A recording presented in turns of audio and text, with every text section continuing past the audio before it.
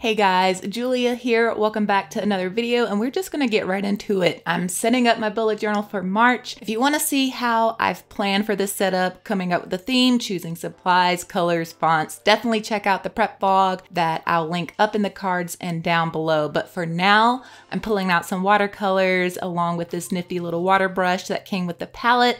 This will keep things nice and tidy, like I don't even have a jar of water. I'm just gonna roll with the brush. The theme this month is umbrellas and parasols. National Umbrella Day is actually in February, apparently, but I thought it would be a cute and simple theme for March. The doodles this month are extremely easy, which is perfect because I need setups to go a little quicker this year, honestly. There's just a lot going on for me, and I didn't even do a lot of pre-sketching this time around. But you can probably pick up what I'm putting down for this cover page. I'm using a super thick size 12 fine liner to do basically an elongated J with a thicker top and a thicker bottom for the handle first. And then I'm just working in the umbrella shapes on top of that. For the open one, I'm kind of doing like a crisscross, almost spider web look. But this transparent look gave everything a more graphic feel. And you guys know I like to spice up themes and doodles any way I can. I also had some scrapbooking paper from Notebook Therapy's Lucky New Year's box, and the colors fit perfectly, so I definitely wanted to use that to add some additional texture to the theme. I don't think that box is available anymore, but all of their scrapbooking kits are so pretty and natural looking. And if you didn't know, you can now use Royal 10 over at Notebook Therapy to not only support the channel, but to also get 10% off. The lettering for this month is super fun and funky as well. It's inspired by a font called Westside. It's a free font that's inspired by poster designs and illustrations from the 1980s. I'll leave a link for that below too if you want to check it out. It was a perfect match too because the style of the umbrellas was also inspired by a Pixar movie poster for the blue umbrella. I haven't even seen that yet, but I saw it while browsing Disney Plus and I thought it was super cute. So, March is also Women's History Month, and I wanted to add some female positive energy somewhere in the theme. I was looking for quote ideas and came across this beautiful quote on Pinterest and absolutely had to use it for the quote page this month. So, it's Her soul is fierce, her heart is brave, her mind is strong which, yeah, definitely need to hear it as I'm getting into the weeds with work and the wedding and travel and spring cleaning and just all the things. This will be a reminder that, hey, I got this.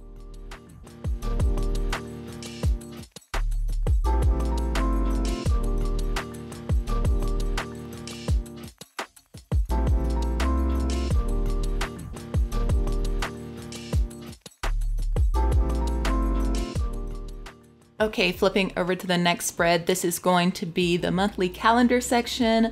Not much is changing with the calendar itself. I'm still loving the one page vertical calendar layout. I guess a funny change is that I've just completely given up on using a ruler for this type of stuff. I'm just better off with my wonky almost straight lines because your girl be messing up with the ruler too damn much. So here we are. But over on this other side, I'm trying something a little new. These are going to be weekly task boxes, just for those things that I kind of want to get done in a particular week or notes that pertain to an entire week. They aren't going to be so pressing that they need to go in the weekly spread and take up that precious space, but I've noticed these sort of weekly things are coming up more often, so I thought this would be a good space for those. And even with that addition, I have some extra doodle space, so of course I'm going to add a couple of those umbrellas umbrellas in the extra space, and I'm still not over how quickly I was able to set these pages up. I'm not saying that I'm completely throwing my maximalist tendencies out the window, but at least for a good chunk of this year, I think I definitely need to pull back on some of the hardcore decoration and sort of be more realistic about my time constraints right now. I've always sort of been about function as well, so I think I'll definitely be looking for new ways to maximize function. If you haven't already considered subscribing to the channel if you're interested in new ways to sort of marry decorative journaling with the functional.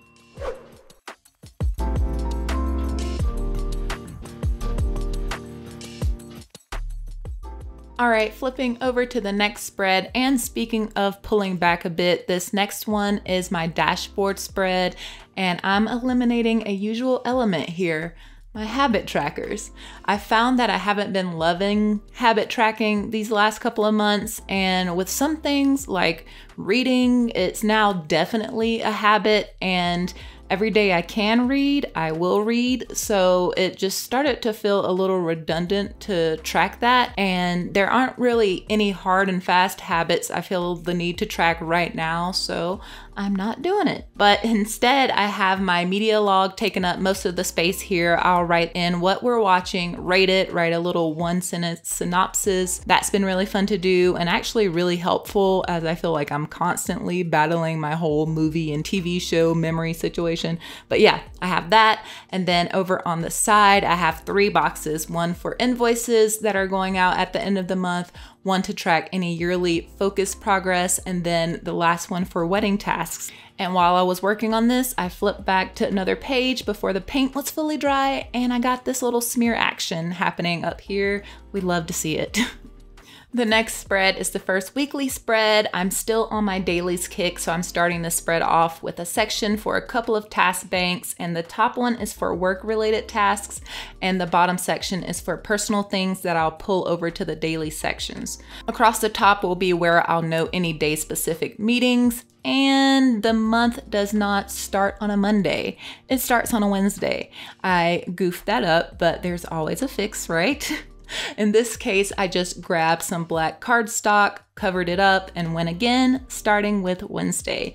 Classic Julia stuff there. As you can see, I'm pulling the look of that West Side font here for the day headers as well. I love how using this sort of display style lettering made this whole theme seem not as typical, you know, like it's got some quirk to it and I think the lettering does play a role in that for sure. I'm also numbering the weekly spreads, not like what week it is in the year, but just like the number of week it is in the month.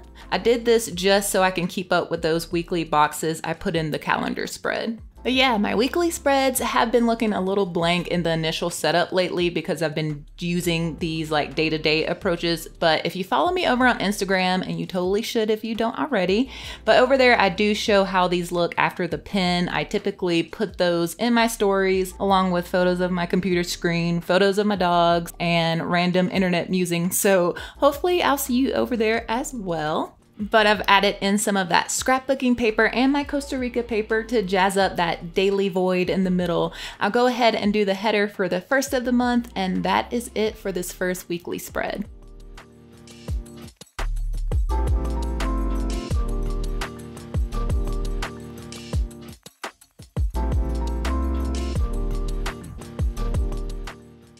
Okay, let's take a look at all of the initial spreads I've set up for March. We have our cover page with the female positive quote, and I'm introducing the colors and textures for the theme here. I have a calendar spread where I'll have a monthly overview of meetings, events, birthdays, and a place for week specific notes and to-dos. Then we have the dashboard spread where I'm tracking and rating media along with some monthly task boxes. And then there's the first weekly spread where I'll work through the day to day tasks. Thank you so much for watching. I hope you've enjoyed the setup this month. If you want to see how I got to this point, check out the prep vlog here, and I'll catch you all in the next one.